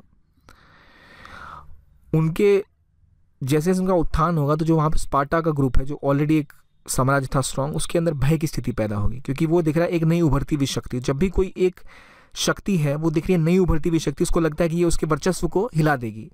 इस वजह से वॉर होनी तय होती है। तो इसे थ्यूसाइडिस ट्रैप कहते हैं कि जब भी एक पावर है और दूसरी इमर्जिंग पावर खड़ी होती है तो वो जो एग्जिस्टिंग पावर है, उसको हमेशा डर लगता है और वो उसके जो हेजेमॉन वाली सिचुएशन है हेजेमॉन मतलब जो उसका वर्चस्व है, उस इलाके में। जो वो चाहे वो जो लोगों से करवा सकता है छोटे मोटे देशों से, बाकी देशों से, उस स्थिति को बदलाव करने की कैपेसिटी रखता है। इसलिए बड़ी पावर को हमेशा डर लगता है जब कोई नई पावर उभर रही उभर रही होती है। और इसे कहते हैं थ्री साइडेड स्ट्रैप जैसे अभी हमने देखने को मिला, जब चाइना राइज कर रहा है तो अमेरिका को लगातार लग रहा है कि ये हमारे खिलाफ काम करेगा। इसी को लेकर कोट आया था, पहले बहुत पुराना जी जिनपिंग जो चाइना के प्रेसिडेंट है, उनका कि हम सबको काम करना चाहिए, हम थ्री साइड स्ट्रैप के डिस्ट्रक्टिव टेंशन में ना फंसे। इमर्जिंग पावर एस्टेब्लिश पावर डरे ना एक दूसरे से मिलकर साथ में काम करें। हालाँकि कहने की बातें हैं, क्या कर रहे हैं वो तो सबको पता है, पर थ्री साइड स्ट्रैप है, क्या है ये आपको पता लग गया? ये कोई बायोलॉजिकल फ़िज़िकल ट्रैप नहीं फिजिक्स का कोई ट्रैप नहीं है कोई मछली मारने की या किसी हिरण को फंसाने का ट्रैप है। असल में ये दो विश्व में जब शक्तियाँ बढ़ती हैं, उनके बारे में एक स्थायित्व शक्ति पावरफुल कंट्री जब वो देखती है, एक और नई पावर उभर रही है तो उनको हमेशा लगता है उनके वर्चस्व खतरा है, जिसे कहते हैं थ्री साइड स्ट्रैप और ये ट्रैप ले जाता है उन्हें जंग की ओर, एक दूसरे के खिलाफ हमेशा डर की ओर। और ये एक पोटेंशियल कॉन्फ्लिक्ट को दिखाने के लिए बताया जाता है, जो अभी चाइना और यूएस में हो रहा है हो सकता है भविष्य में और ज़्यादा। अभी तो ताइवान को लेकर आर्टिकल बात करता है रोशनी के बारे में। रोशनी क्या है? रोशनी नाम की, नई रोशनी नाम की एक स्कीम भी थी पहले। ये रोशनी एक नया इनिशिएटिव है। ये असल में एक लैंटर्न है, जिससे कि अगर आप उसमें जब नमकीन पानी डालेंगे, यानी खारा पानी डालेंगे तो वो उसके नमक का इस्तेमाल करके वो प्रज्वलित हो जाएगा, जलने लगेगा। तो रोशनी असल में इंडिया का पहला सलाइन वाटर लैंटर्न है। तो इसका फ़ायदा आप सोच ही सकते हैं। अगर कोई मछुआरे हैं या शिप पर हैं, आप जहाँ समुद्र में फंस गए हैं तो वहाँ नमक, पानी वाला आपको बस वो पानी मिल जाए, आप उससे ही अपना एक लैंटन जला सकते हैं। तो काफ़ी मदद करेगा ईज ऑफ़ लिविंग क्रिएट करेगा गरीबों के लिए, जिनके पास साधन नहीं है या किसी ऐसी स्थिति में जो लोग कोस्टल इलाकों पर रहते हैं, तटीय क्षेत्र में, उनके लिए तो बहुत बड़ा मदद ये कर सकता है। इंपॉर्टेंट ये क्या है ये? तो एक सेलाइन वाटर लैंटर्न है। किसने डेवलप किया है? तो national institute of ocean technology ने डेवलप किया है इसको। और ये पहला सलाइन लेंटर इंडिया का था। तो इसका फ़ायदा आप सोच सकते हैं कि जो समुद्री इलाकों में है, उनके लिए तो है ही, और जो समुद्री इलाकों में नहीं है, वो भी इसका इस्तेमाल कर सकते हैं कि बस आपको पानी मिला देना है नमक में और इसमें डाल देना है तो उसके नमक को इलेक्ट्रोलाइट क्रिएट करके वो इलेक्ट्रो इलेक्ट्रोड अपनी पावर जनरेट करेगा, जिससे वो लैंटन जलने लग जाएगा। ये बात हो गई रोशनी की। अगला आर्टिकल उस पर जाने से पहले दो हमारे जो प्रोग्राम हैं, मैं उनके बारे में आपको बताना चाहूँगा। पहला, हमारा मार्क्स इंप्रूवमेंट प्रोग्राम और दूसरा, हमारा प्रारंभ प्रोग्राम अगर आप बेसिक लेवल से एजुकेशन चाहते हैं चाहते हैं कि जहाँ से भी यूपीएससी की प्रिपरेशन का एक बेस बनता है एनसीईआरटीज हो फ्रॉम रूट्स टू पिनाकल वो कवरेज मिलती है आपको हमारे प्रारंभ प्रोग्राम में, जो कि हमारा एक फाउंडेशन बैच है 2023 के लिए शुरू हो चुका है ऑफलाइन दोनों ही और ऑनलाइन दोनों ही माध्यम में, जिसमें हम आपको शेड्यूल देते हैं प्रॉपर प्लानिंग टेस्ट क्लासेस सब मिलता है आपको। जबकि अगर आप ऐसी स्थिति में जहाँ आपने प्रिपरेशन एक बेसिक लेवल की की हुई और आपको सिर्फ़ एक अपडेट चाहिए तो वहाँ मार्क्स इंप्रूवमेंट प्रोग्राम आपके लिए बेस्ट हो सकता है, जहाँ आपको एक शेड्यूल दिया जाएगा। उसके हिसाब से आप Monday to Saturday Monday to Friday पढ़ेंगे। सैटरडे और संडे को आप टेस्ट देंगे। सैटरडे को प्रीलिम्स का संडे को मेंस का टेस्ट आप देंगे और उसका एवेल्युएशन होगा। और अगर आपको लगे आप कहीं अटक रहे हैं तो आपको लगातार हेल्प मिल सकती है, क्योंकि आपको मेंटोरशिप दी जाएगी साथ साथ वन ऑन वन मेंटोरशिप तो ये है हमारा एम प्रोग्राम और ये है फाउंडेशन कोर्स प्रारंभ। दोनों की डिटेल हमारी वेबसाइट और आप इन फ़ोन नंबर्स पे कॉल करके ले सकते हैं। आर्टिकल फॉर एवर केमिकल्स के बारे में है। अच्छा मैं आपको एक छोटी सी बात बताता हूँ। मेरी दादी की एक अक्सर आदत है कि जब भी बारिश होने लगती है तो वो एक बर्तन खुले आसमान के नीचे रख देती हैं। उसमें पानी जब बारिश का इकट्ठा हो जाता है तो उसके बाद वो उसे पीती हैं। उन्हें ऐसा लगता है कि बारिश से जो पानी आसमान से नीचे गिर रहा है वो बहुत ही ज़्यादा सेफ़ है, बहुत ही ज़्यादा प्योर है। मैंने बड़ी मुश्किल से उन्हें इस बात को कन्विंस किया था, समझाया था कि जब पहली या दूसरी बारिश होती है तो एटमॉस्फेयर में जो केमिकल कंपोनेंट्स होते हैं, वो बारिश के पानी के साथ नीचे आते हैं। जिसे हम एसिड रेन भी कहते हैं। तो वो इस पानी को ना पिया करें, वो नुकसानदेह होता है। जैसे तैसे उन्होंने मेरी इस बात को मान लिया, और उसके बाद अब वो पहली दूसरी बारिश का पानी नहीं पीती। जब काफ़ी लंबे समय से बारिश हो जाती है, उसके बाद वो बारिश का पानी इकट्ठा करके पीती हैं। ये उनकी बहुत पहले की आदत है, उन्हें अच्छा लगता है शायद। लेकिन अभी हाल ही में रीसेंट स्टडी में ये पाया गया कि जो बारिश का पानी नीचे गिरता है, दुनिया भर में कई सारी जगहों पर उसमें एक प्रकार का कंटेमिनेशन होता है and that is of P F AS यानी कि पर और पॉलीफ्लूरो एल्कलाइल सब्सटेंस ये एक प्रकार का केमिकल कंपाउंड है, जो पानी में मिक्स हो जाता है और वो ज़मीन पर आता है। अब मैं तो इस सोच में पड़ गया हूँ कि मैं दादी को ये कैसे समझाऊँगा कि अब वो कोई भी गिरने वाला बारिश का पानी नहीं पी सकती क्योंकि हर पानी में पीएफए है और वो बॉडी के लिए बहुत ज़्यादा नुकसानदेह है। हमने इस कदर अपने एटमोसफियर को पोल्यूट कर दिया है कि कोई भी हिस्सा जो पहले कन्वेंशनली बहुत ज़्यादा प्योर माना जाता था, अब वो भी पोल्यूट हो चुका है। ये जो पीएफए बारिश के पानी के साथ नीचे गिर रहा है अकॉर्डिंग टू दिस स्टडी उसे कहा जाता है फॉर केमिकल आप सभी लोगों के मोबाइल में कोई एक पुराना ग्रुप पड़ा होगा फ्रेंड्स फॉर का, जिसकी ओर अब आप निगाह उठाकर भी नहीं देखते होंगे। आपने भले ही उस ग्रुप को नज़रअंदाज कर दिया हो फॉर फ्रेंड्स वाला, लेकिन फॉर केमिकल्स आप इन्हें नज़रअंदाज नहीं कर सकते, क्योंकि ये बहुत नुकसानदेह हैं। ये कुछ ऐसे सब्सटेंस होते हैं जो जहाँ मन में आता है वहीं चिपक जाते हैं। कुछ लोग बड़े एक्सट्रोवर्ट होते हैं ना, सभी से आराम से घुल मिल जाते हैं, बड़े ही मिलनसार होते हैं। बिल्कुल वैसा ही है ये केमिकल बड़ी आसानी से कहीं भी चिपक जाता है, चाहे वो एटमोसफियर में मॉलिक्यूल्स हों छोटे छोटे डस्ट के पार्टिकल्स हों, या फिर रेन वाटर या फिर सॉइल ये बहुत ही आसानी से कहीं भी मिक्स हो जाता है। ये एक मैन मेड केमिकल है। इस केमिकल का इस्तेमाल एक्चुअली में ऐसी चीज़ों में किया जाता है जिसे हम पानी ग्रीस या फिर ऑयल से बचाना चाहते हो। मतलब कोई भी ऐसा सब्सटेंस जो अपने आसपास देखते हैं आप, जिस पर से अगर आप पानी गिराएँगे तो वो फिसल जाएगा, चिपकेगा नहीं, लगेगा नहीं। या ऑयल गिराएँगे तो फिसल जाएगा, उसमें बेसिकली इस फॉरएवर केमिकल यानी कि पीएफए का इस्तेमाल किया जाता है। कौन से होते हैं ऐसे केमिकल्स ऐसे केमिकल्स या ऐसे आइटम्स में आर्टिकल्स में नॉन स्टिक कुकवेयर्स आते हैं। आपके घर में कोई पैन हो सकता है, कोई कढ़ाई हो सकती है तवा हो सकता है, जिस पर चीज़ें ऑयल चिपकता नहीं है। उसमें एक्चुअली में कोटिंग की जाती है पीएफए की। फर्दर वाटर प्रोपेलेंट क्लोथिंग जो आप रेन कोट पहनते हैं, उसमें भी पीएफए की कोटिंग होती है ताकि पानी फिसल जाए। स्टेन रेजिस्टेंट फैब्रिक्स कुछ ऐसे सोफा वगैरह होते हैं जिसमें पानी वगैरह गिरे तो वो फिसल जाता है स्टेन्स भी नहीं आते। उसमें भी पीएफए का इस्तेमाल होता है। कॉस्मेटिक्स कई सारे लड़के और लड़कियाँ मेकअप करने के शौकीन होते हैं। पानी अगर चेहरे पे गिर जाएगा तो मेकअप धुल जाएगा, असलियत सामने आ जाएगी। तो वो पानी से धुले नहीं उस पर से पानी फिसल जाए, इसलिए उसमें भी फॉरएवर केमिकल या पीएफए का इस्तेमाल किया जाता है। फायर फाइटिक फॉर्म्स में भी इसका इस्तेमाल करते हैं, जो ग्रीस वाटर या ऑयल का रेजिस्टेंट होता है। मतलब हमने देखा कि a lot of products are there जहाँ पर हम पीएफए का इस्तेमाल करते हैं। और उसके बाद ये एटमॉस्फेयर में जाकर हमारी बॉडी में एंट्री करके हमें बहुत सारा नुकसान पहुंचाता है। एग्जैक्टली exactly ये पीएफए कैसे वर्क करता है, कैसे नुकसान पहुंचाता है? ये सॉइल वाटर या एयर में पहुँच जाता है इन सभी प्रोडक्ट्स के प्रोडक्शन या यूज़ के दौरान। जो पीएफए है वो आसानी से ब्रेक डाउन नहीं होता, क्योंकि एक बहुत ही कॉम्प्लेक्स केमिकल कंपाउंड है, जिसमें कार्बन हाइड्रोजन ऑक्सीजन और फ्लोरीन मिले होते हैं। इसलिए इन्वायरमेंट में बहुत लंबे समय तक ये बना रहता है। धीमे धीमे ये इंसानों की या फिर एनिमल्स की बॉडी में भी एंटर कर जाता है, और फिर आते हैं इसके हेल्थ रिस्क ये किसी भी इंसान की फर्टिलिटी को डिक्रीज कर देता है, बच्चे पैदा करने की क्षमता। बच्चों में डेवलपमेंटल इफेक्ट्स आ जाते हैं। वो मेंटली या फिजिकली अच्छे से खुद को डेवलप नहीं कर पाते। ये बॉडी हार्मोन्स में भी इंटरवीन करता है और कोलेस्ट्रॉल के लेवल को भी बढ़ा देता है, जिससे कैंसर का खतरा बढ़ जाता है। Long term low level exposure से भी इसका नुकसान हो सकता है। ये हमारी बॉडी में जो एंटीबॉडीज़ का जनरेशन होता है, जिससे हम कई सारी बीमारियों से लड़ पाते हैं। वैक्सीन हम लेते हैं तो एंटीबॉडीज़ जनरेट होती हैं। ये उन्हें भी खत्म कर देता है। तो मतलब जो वैक्सीनेशन हैं, वो इनफेक्टिव हो जाते हैं after exposure of this for chemical आप इसका नुकसान तो समझ ही रहे होंगे। क्या करें कि हम इससे बच? जाएँ इसको पानी में से निकालने के कई सारे तरीके तो हैं, लेकिन वो बहुत ज़्यादा एक्सपेंसिव हैं। रेन वाटर से इसे निकालने के लिए हमें फिल्ट्रेशन सिस्टम का इस्तेमाल करना होगा, जिसमें एक्टिवेटेड कार्बन लगा हो। लेकिन ये एक बहुत ही महँगी प्रक्रिया है। तो हम क्या करें? करना हमें यही होगा कि हम ऐसे सब्सटेंस का कम इस्तेमाल करें, जिनमें इस फॉर केमिकल का इस्तेमाल हो रहा है। यही एक तरीका बचता है, क्योंकि हम इतना सारा पानी प्योरीफाई तो नहीं कर पाएँगे। फर्दर क्वेश्चन है 2013 के प्रिलिम्स का। पूछा गया है कि इनमें से कौन सा ऐसा पोल्यूटेंट है जो ड्रिंकिंग वाटर में पाया जाता है भारत के कई सारे हिस्सों में। अक्सर हम लोग ट्रिक समझते हैं ना कि ऐसे क्वेश्चन में ऑल करेक्ट होता है। तो ऑल करेक्ट यहाँ पे नहीं है। आंसर है C one three and five यानी कि सॉबिटल एंड फॉर्मेल्डिहाइड ये नहीं पाया जाता। आर्सेनिक फ्लोराइड और यूरेनियम आपको मिलेगा। हमारा जो नेक्स्ट आर्टिकल है वो हंगर स्टोन्स के बारे में है। क्लाइमेट चेंज बहुत तेज़ी से हो रहा है। इसके बीच में बड़ी डिबेट चलती है कि इसे कौन कॉज कर रहा है। डेवलपिंग कंट्रीज़ कहती हैं कि डेवलप कंट्रीज़ कॉज कर रही हैं।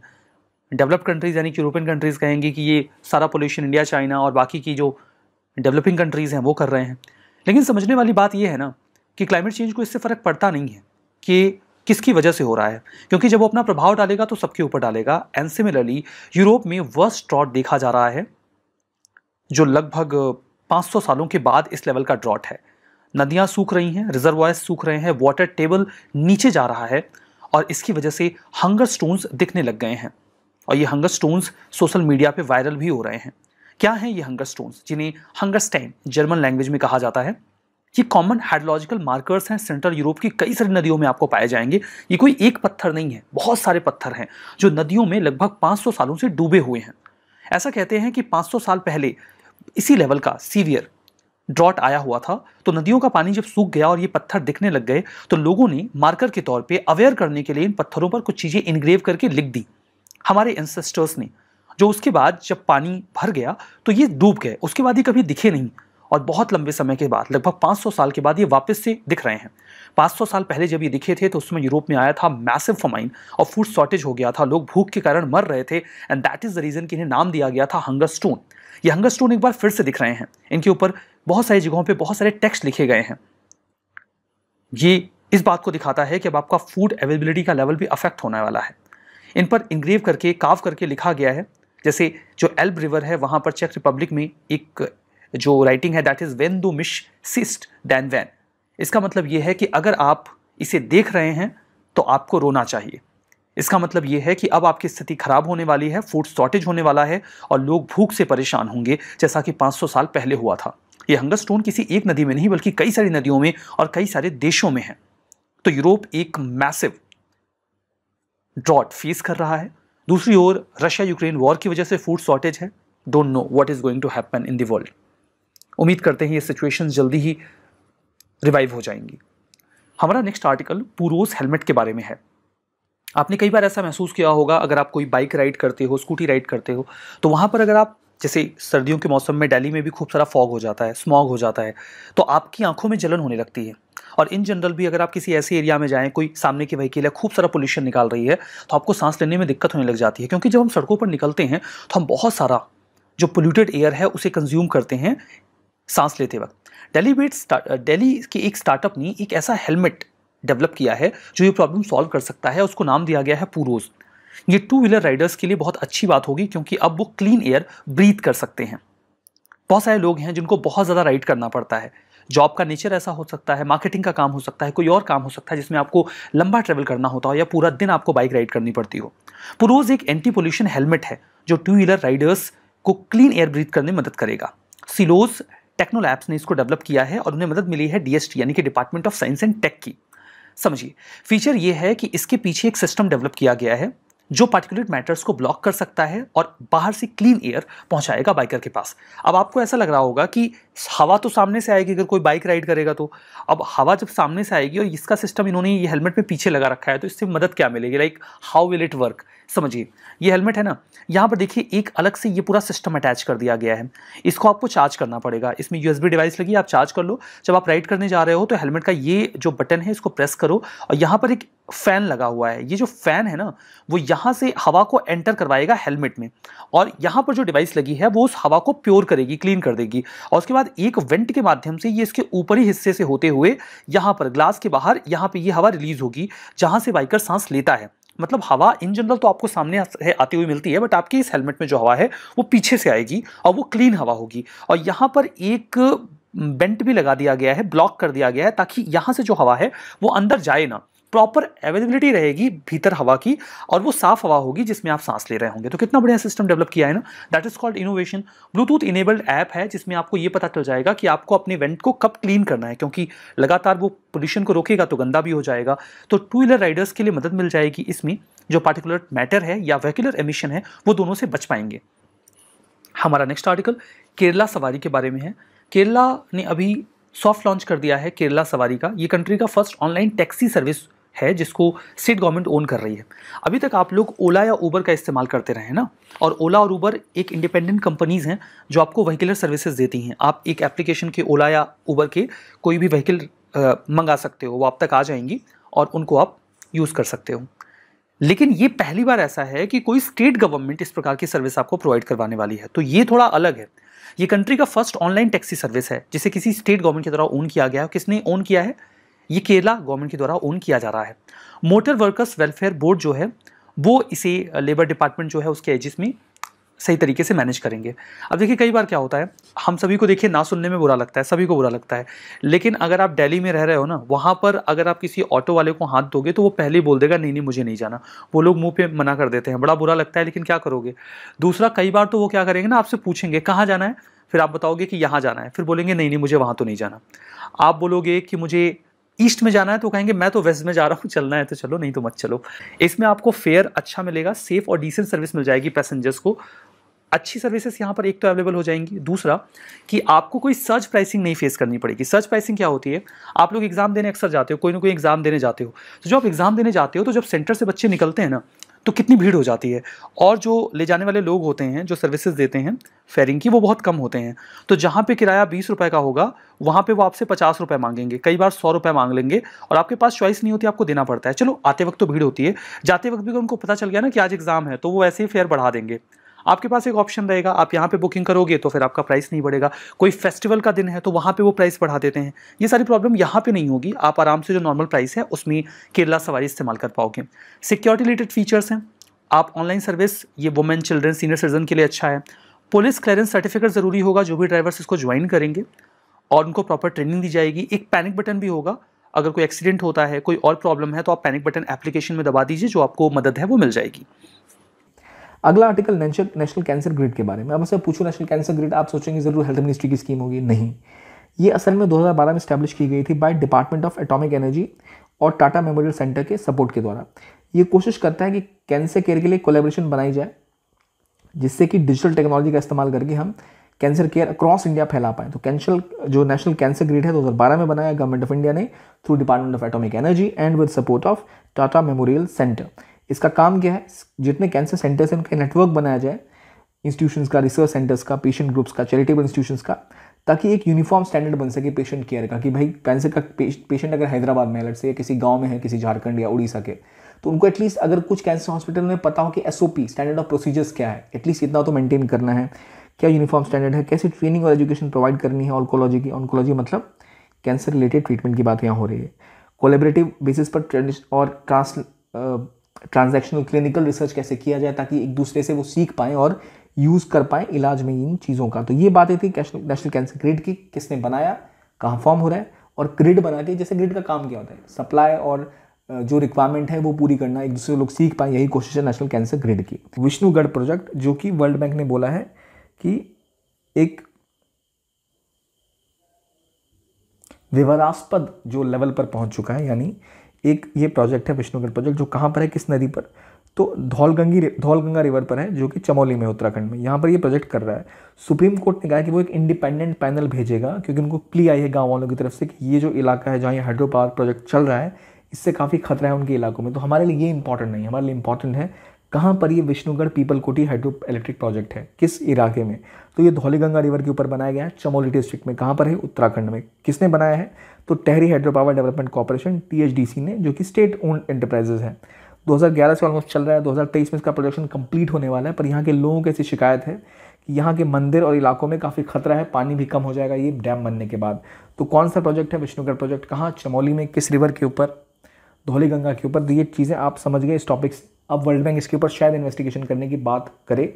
That is not important but what is the location that is important क्योंकि टॉपिक न्यूज़ में रह रहा है। अगला आर्टिकल बात करता है Indian council on research on international economic relation तो क्या है ये? असल में इसका एक, इनकी एक नई रिपोर्ट आई है localise to globalise exporting at scale and deepening the ecosystem are vital to higher domestic value addition अब इतना लंबा नाम तो नहीं आएगा। पर ग्लोबलाइज टू लोकलाइज नाम की अगर रिपोर्ट की बात की जाए तो कहाँ से आया है? तो वो I C R I E R यानी Indian council of research on international economic relation ने निर्गत किया है। तो क्या ये गवर्नमेंट बॉडी है? तो no it's not a government body it's policy oriented think tank economy think tank जिसका काम है जो पॉलिसी मेकिंग है, उसमें नॉलेज बढ़ाई जाए और ज़्यादा डिस्कशन हो डिबेट हो। ये प्रमुख रूप से पाँच एरियाज़ पे रिसर्च करते हैं growth employment micro economics digital economy startups innovation climate change urbanisation sustainability जो ट्रेड इन्वेस्टमेंट और एक्सटर्नल रिलेशंस तो ये इनके प्रमुख एरियाज़ हैं। इनकी ये रिपोर्ट है which is globalise to localise किसने इशू करी? Indian council of research on international economic relations is it a government body no it's a think tank a policy think tank ये इंडस्ट्री बॉडीज़ जो है mobile और electric industry की, इनकी जो प्रमुख स्टेक होल्डर्स हैं, चाहे ब्रांड ऑनर्स हो गए या टेक्नोलॉजी प्रोवाइडर्स हो गए रिटेल चेन ऑपरेटर्स हो गए, इन सब का एक समूह है जो मिलकर काम करता है I Indian council for research on international economic relation तो ये इनके विजन को आगे ले जाता है ताकि एक प्लेटफॉर्म है जहाँ पर आकर आपस में मिल पाएँ और देख पाएँ कि कैसे हम जो भी काम हो रहा है उस पर बढ़ोतरी ले पाएँ। ठीक है? अगला आर्टिकल बात करता है जॉम्बी आइस के बारे में। रिसेंटली देखा गया ग्रीनलैंड का कि एक बड़ी आइस शीट वो पिघलेगी, जिससे ग्लोबल सी लेवल 10 इंच तक बढ़ सकता है अपने आप। अब देखिए, एक स्टडी कह रही है। जनरली यूपीएससी ऐसी स्टडीज़ को उतनी मान्यता नहीं देती, क्योंकि ऑफिशियली यूएन की स्टडी नहीं है ये। लेकिन जॉम्बी आइस क्या होती है? न्यूज़ में रहा तो हमें पता होना चाहिए। देखिए, कुछ नॉर्मली जो आइसबर्ग्स होते हैं आइस शेल्फ होते हैं ग्रीनलैंड की बात कर लें, या फिर आप, अगर आप हिमालय के के भी ग्लेशियर्स की बात कर लें तो ग्लेशियर्स हमेशा जुड़े रहते हैं एक प्रमुख सोर्स से, जहाँ उनको पानी या फिर जो उनकी जो कूलिंग है वो होती रहती है, जो वाटर सोर्स है वो इंटैक्ट रहता है। जुम्बी जॉम्बी आइस या फिर जो डूम्ड आइस है, ये ऐसी आइस है जिसको कि जो मेन ग्लेशियर से जो फ़ीड फ़ीड आती थी, जिसके थ्रू उनका वो जो संरचना थी उस तरह से बनी रहती थी, वो नहीं रह पा रही है। क्यों भाई उनका, कहाँ से वो जो सिस्टम है आप जैसे ये ग्लेशियर का टुकड़ा टूट के अलग हो गया। तो यहाँ नॉर्मली जो ग्लेशियर का सस्टेन होता था वो तभी हो पाएगा जब एक पूरा भूभाग जुड़ा हुआ हो। तो वो भूभाग टूट के अलग हो गया। So they get disconnected they like a zombie zombie क्या होता है? आपने हॉलीवुड की फ़िल्मों में देखा होगा जैसे हम डूम्ड आइस भी कहते हैं कि ऐसी आइस है जो इसके आसपास शेल्फ के आसपास बर्फ़ तो है, लेकिन ये जुड़ा हुआ नहीं है अपने पेरेंट बॉडी से, जहाँ से मेन जो बर्फ़ का सोर्स था वो आता हो, जहाँ से ये सस्टेन कर पाए अपने आप को, कुछ पिघल भी गया तो वहाँ से और पानी आएगा। ठंडा माहौल है तो बर्फ़ पिघल के और सॉरी जम के और ज़्यादा परत मोटी होती चले जाएगी। क्या होता है? समय के साथ परतें मोटी होती चले जाती है ग्लेशियर्स की ग्लेशियर्स की। लेकिन अगर ग्लेशियर टूट के अलग हो गया, एक बड़ा हिस्सा टूट के अलग हुआ तो उसके साथ आसपास आइस तो होगी, पर वो पेरेंट बॉडी के साथ नहीं होगा तो उतनी ज़्यादा आइस जमा नहीं हो पाएगी, वो उतना स्ट्रांग नहीं हो पाएगा। इस वजह से कहते हैं जॉम्बी आइस और कहा जा रहा है कि एक जोम्बी आइस जो ग्रीनलैंड में है, वो आइस शीट अगर पिघली तो 10 इंच तक ग्लोबल सी लेवल राइज कर सकता है। और ये क्लाइमेट चेंज की वजह से मेल्ट कर रही है और इसकी वजह से सी लेवल बढ़ जाएगा। तो इतना अगर सी लेवल बढ़ता है तो बहुत ही खतरनाक हो सकता है। जो आईपीसीसी की रिपोर्ट थी, उसने कहा था दो से पाँच इंच तक की बढ़ोतरी, लेकिन ये तो कुछ ज़्यादा ही अभी तक बढ़ोतरी को बता रहे हैं। Again I am saying this study is not you know UPSC ऐसी स्टडीज़ पे क्वेश्चन जनरली कम पूछते हैं, पर जॉम्बे आइस क्या है या फिर डेड आइस या आप डूम्ड आइस किसे कहते हैं, ये समझना ज़्यादा इंपॉर्टेंट है आपके लिए। तो आज के इस सेशन में बस इतना ही। Thank you very much